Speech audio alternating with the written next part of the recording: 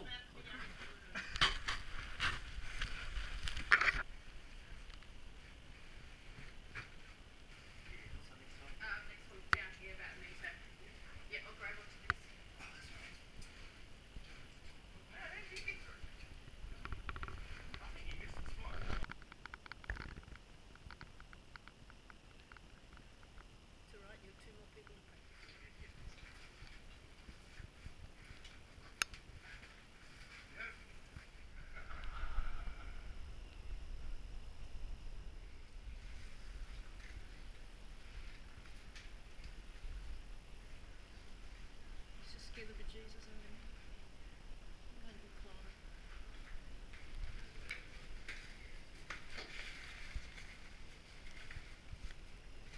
Michael, are you happy with that